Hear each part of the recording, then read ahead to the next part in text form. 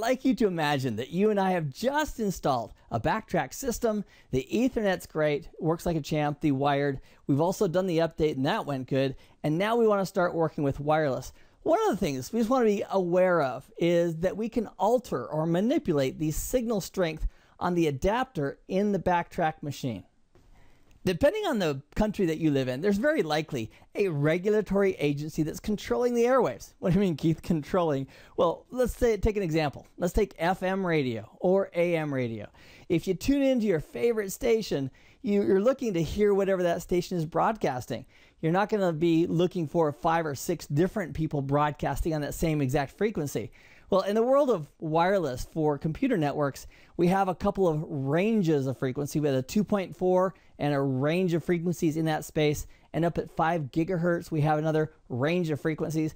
But just because they're open and available and we don't have to register with anybody to use them, there's still some guidelines on how much signal strength we can use when we transmit on these frequencies. So here's what I've discovered. On a backtrack system that has an Alfa card, I've seen normally the default set to 20. And this is dBm, which equates to about 100 milliwatts. So if we wanted a stronger signal on our backtrack device to transmit, we could go ahead and pretend, potentially raise this up higher. I think the maximum in the United States that we can go is like 27 dBm, which would be about half a watt, 500 milliwatts. And then if we cranked it all the way up to 30 dBm, that would be one full watt of power. Which, depending on where you live, that may or may not be legal. Now, a couple things. I certainly am not encouraging anybody to do anything outside the scope of what is totally legal. So let's say you do live in a country where it is legal to set this to 30. I also want to point out that your hardware, the actual wireless adapter, would have to support that as well. And if you start using more signal strength, there's going to be more heat, and there's a risk of possibly damaging some circuitry. So even if you could crank this all the way up to some really high number, you'd want to make sure two, two things. Number one, you're not breaking any laws. Number two, you're not going to damage your equipment. Another idea that I've seen people toy with is, well, maybe we change the country code. We tell, we tell our computer and backtrack and the wireless device that we're in a different country where it's legal to have those higher rates, and then we could use that. Well, again, the goal is you want to be legal for whatever you're doing. If you're doing penetration testing for a network, you would want authorization for that. And if we're going to be working with the airwaves, it would be best to stay legal within the legal realm of what we're allowed to do in our country. So if we did want to change the country code, let's say we are going to a country where we can actually crank that value up, we want to change the country code. And we could do that by here's the ISO listing of the country codes. So I believe the maximum I could set it for, if I set my country code for US, would be 27 dBm. And also, just be aware that people use different frequencies potentially in different countries. So if I want to work with my 2.4 range with channels 1 through 11 and the overlapping sets, I would want to make sure that the country code was right so I could participate on the frequencies that are going to be used by that network. So the actual country code is sort of like a throttler that once you set the country code, which has the right ranges, it also is going to control based on that country code the maximum dBm that we can set the interface transmission level to. So let's start. I've got four SSH sessions open to the same backtrack server. Now, why would I do that? The primary reason is I wanted the visual real estate with a bigger font and make it really easy for you and I both to see everything that's going to go ahead and happen. And what I'd like to do is have a one screen. I've got four sessions. One of these sessions, I'd like to go ahead and use tail. Now, tail will redirect output from a file to the screen.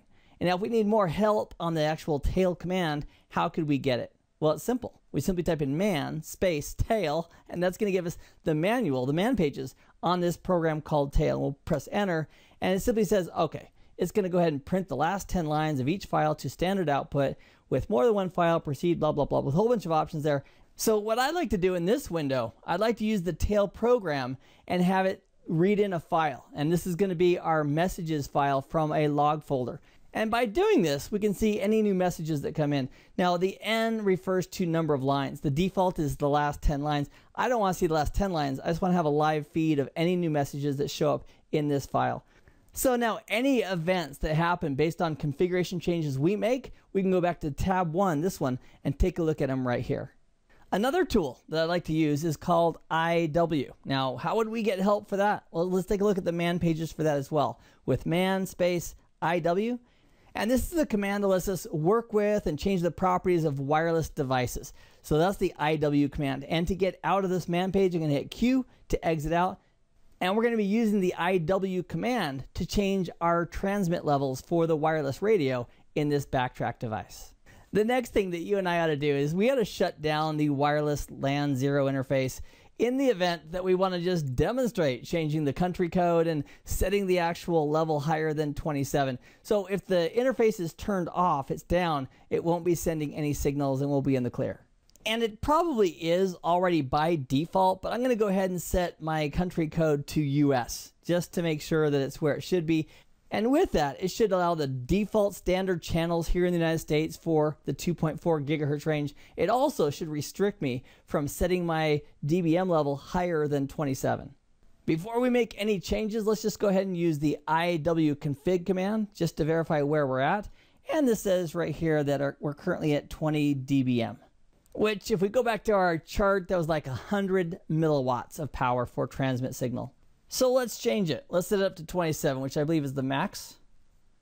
So we'll do iwconfig, WLAN 0, transmit power 27. We'll run iwconfig again, just see what it is, and it comes up as 27. So there's the direct comparison. That's fantastic.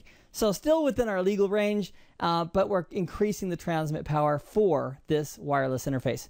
So just to be sure, let's go ahead and try to set the transmit power to 28 and see if it takes that or not.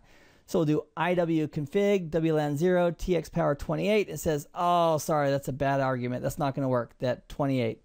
Now, if we change the rules a little bit, if we said, oh, let's use the country code of Bolivia, for example, which allows higher than 27, it should work. So over here in this window, we have our tail running on the messages file. So any new messages show up should come to this screen here.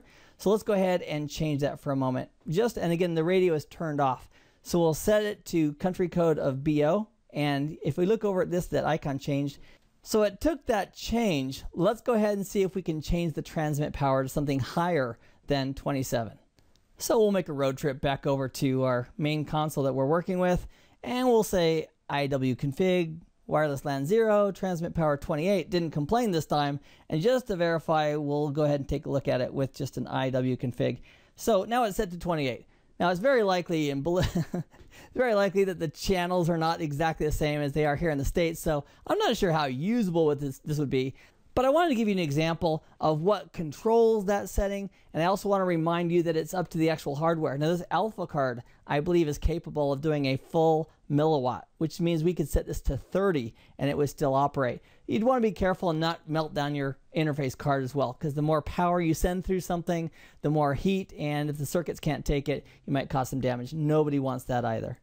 Now the interface has been shut down, so we're not actually doing transmission because we are going to be using this wireless interface.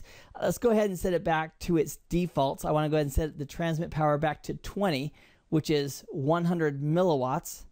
And I'm also going to bring the interface up. And that may take just a second for the interface to respond and to go ahead and bring itself up out of a shutdown state. And so we'll wait for it. And there it is. And the other thing I think we got to do is set the country code back to US because we are going to be working with frequencies and the channels here in the US in these demos anyway. So I want to make sure I don't mess my own self up there by having the wrong country code. And just to verify it's all back in shape, we'll do a ifconfig for wireless LAN interface 0 and it looks like it's up and good to go.